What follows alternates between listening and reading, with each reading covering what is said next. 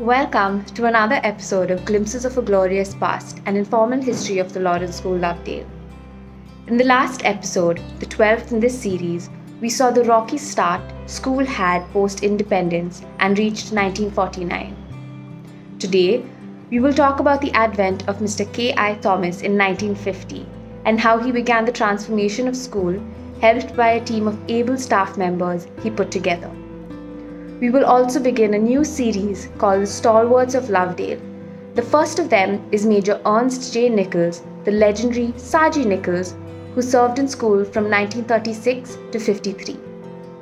Isn't there something magical about Lovedale? If you've experienced life there, you will remember it forever. Wendell Sutton spent just one year at the Lawrence School, Lovedale, and that too in 1949, more than 70 years ago. Listen to what this 85 year old from Perth, Australia has to say. I, I, I had a, a very good memory of the whole picture of everything for that year. That's the saddest part of my life. Was that was the only year that I was, was in Lovedale. Oh, I see. Okay. I was in class five because that was the next step from class four in the railway school, promoted to class five. And uh, my brother John, he was in the junior Cambridge. Our names were, John was, uh, you know, we were never called by our first names. So it was, I was middle Sut. My brother John was senior Sut. And my brother Neil, who was in Nappen Stanley, he was eight years old. Uh, sorry, he was 10 years old, and my, my sister was uh, 8 years old. So we were very lucky to have had that one year, but believe it or not, what I learned in that year was something to, right up to this very day, has buried itself in my bones, you know. It, it was Lovedale that I, I slept Lovedale, I ate Lovedale. I just, uh, to this day, I have so much fond memories of Lovedale.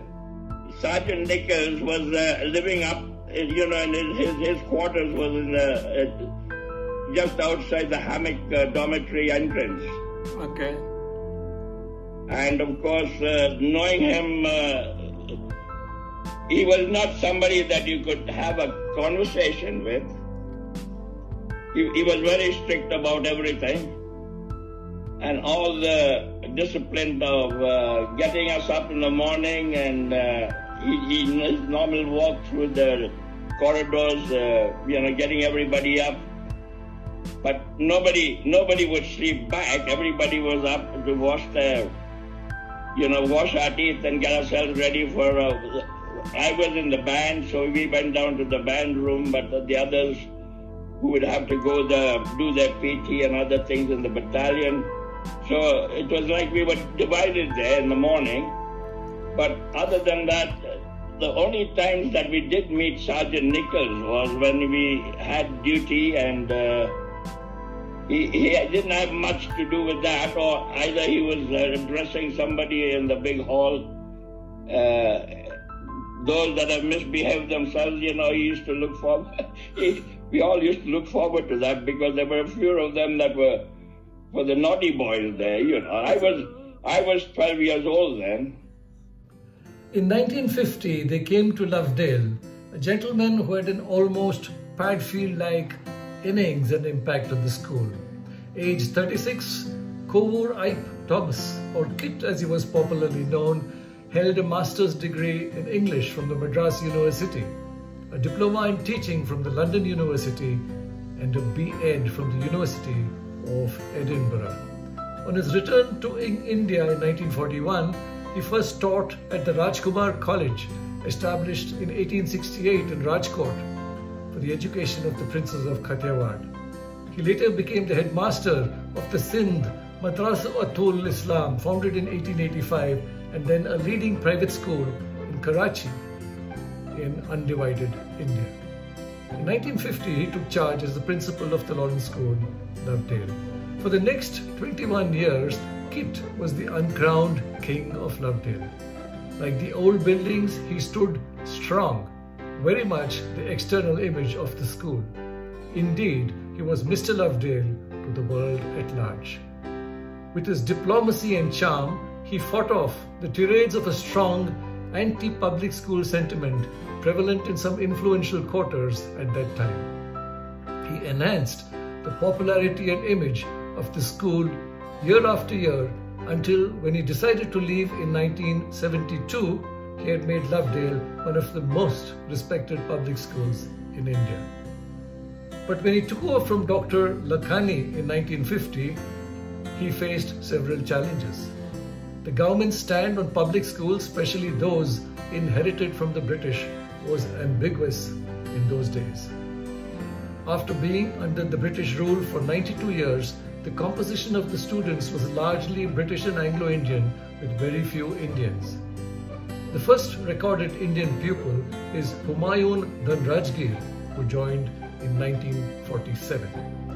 The quality of the teaching staff was about average for those times.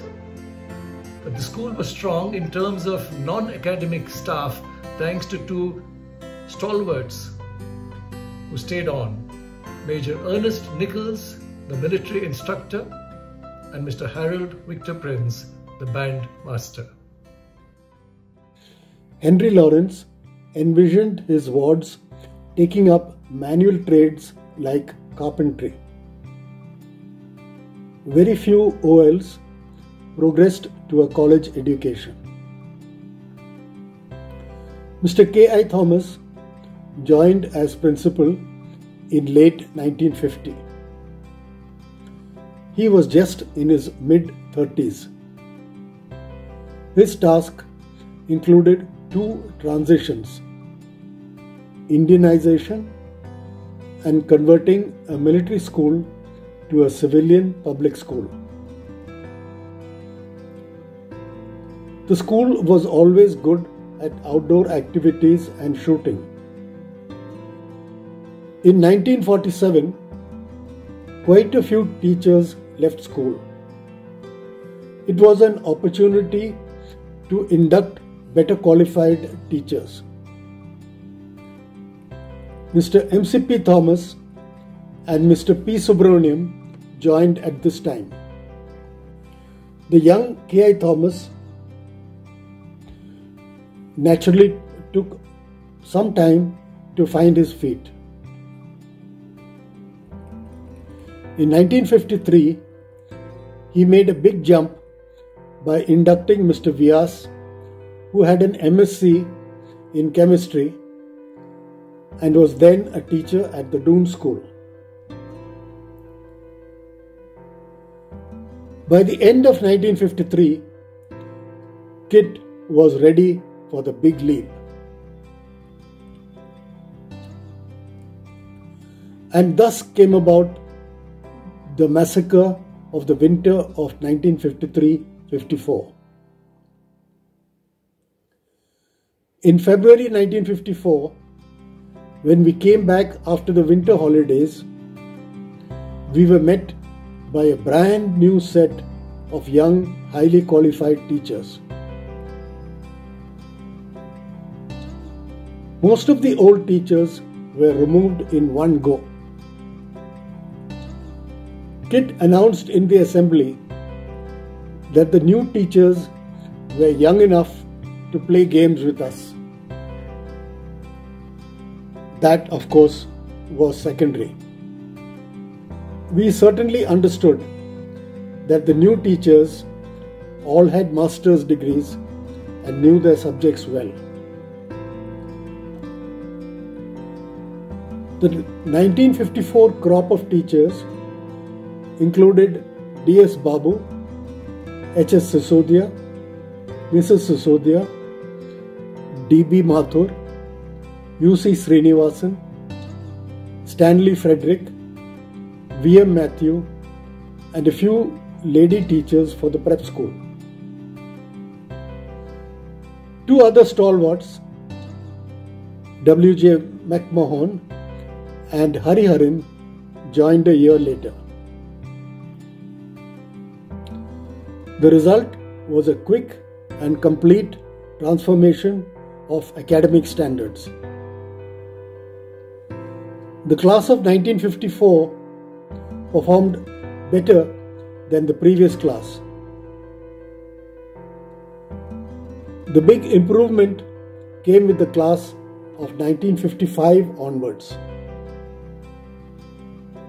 Among the 1955 crop of OLs, we have college professors, doctors, an admiral, and a Padma Shri.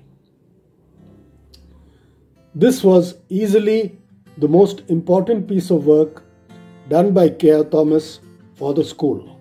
The next segment, The Artist and the Admiral, Shonali Chandi Chanaya, Champak 1987, speaks to two famous OLs from the class of 1955 about their time in Lovedale. They are childhood sweethearts and the first couple of Lovedale. As it were, the renowned artist Padma Shri Anjolie Ela Menon, ex Champak, and Rear Admiral K. Rajagopal Menon, ex Aravali. What I really realized that once I was in Lovedale is that our then headmaster, uh, uh, Kit Thomas, was very keen uh, that we should uh, project ourselves as what they call a public school uh, in the British sense. And in the British sense, public schools always had a headmaster. So, one of the reasons why he wanted to uh, change it to headmaster was because he wanted to be aligned with the British public schools and he became the head of the public schools uh, committee or pu- public schools. Uh, uh, there was a public schools of India Forum. in which there was, I don't think Scindia and uh, those schools were there, but certainly Doon was there. Doon always had a headmaster. Uh, Sanawar always had a headmaster. To provide context to their chat, the principal was redesignated as the headmaster in 1953, prompting Anjolie to shoot off an angry letter to the editors of the Lawrencian. Well, the first year I was there was fairly miserable because uh, there were very few, we were only four Indian girls among 50 girls. And uh, the whiteys were jolly mean to us. They called us dirty wogs. And we were made to be punished, and we were sometimes put in Coventry, and we had a very miserable year. But once I started doing well in school, I earned a little respect and especially because I did well in sports. They didn't uh, think these uh, Indian. kids, uh, um, Western kids that were there, the Anglo Indians and the British, didn't think much of academics. But since I did well in sports, I gained a little respect and uh, I began to love school. But what really was a wonderful part of school was uh, the art department uh, presided over by somebody called Sushil Mukherjee, who was really a man of many parts. He was a poet, he was a musician, he uh, produced wonderful plays, and he was a great art master. And the art school was very beautifully uh, appointed with little desks. Uh, on, we had to sit, sit on mats on the floor, and then Mukherjee would stay in his little uh, caboose and play on the flute while we painted. From glimpses, OL Kevin Phillips recalls a mock UN assembly for the students. K. Rajgopala Menon heads the Soviet Union delegation, K. Thomas Chandi and I, his sidekicks. When the American delegate gets up to speak, Menon removes his Soviet team from the hall amid boos from other delegations. who was very interested in what I spoke and how I spoke was my housemaster, Huh. Subu. Okay. And he might well have put me up to it. To, But- to do the walkout, to stage a Yeah, the walkout. walkout. Ah, Because uh, if I remember right, the Soviet Union delegation was famous for their walkouts in those days, in the middle 50s. Once I won the prize, and once or twice Raja won the prize. He was a very good speaker. Uh, and I also remember that he was in. He played the flute in the band. Yeah, in the band, they used to be called to the government house in Ooty to play for the Maharaja. And uh, once, uh, and that was his um, uh, symbol of love, that he brought me a piece of chicken curry in his pocket. a piece of chicken from the curry. From, uh, with all the curry With all and the- oh everything God. in his pocket without even wrapping it in a napkin. Really, Mickey? Do you remember this? The chicken Uh, curry? Vaguely. But a little more clearly than the Russian debate, obviously. yeah. Our thanks to Anjolie and Raja Menon for this charming interaction. And for the video, we'd like to thank Shonali Chandi Chanaya. Fun fact she was head girl in 1987, 32 years after her illustrious aunt Anjolie. With this, we come to an end of another episode of Glimpses of a Glorious Past, an informal history of the Lawrence School Lovedale. Thank you for watching.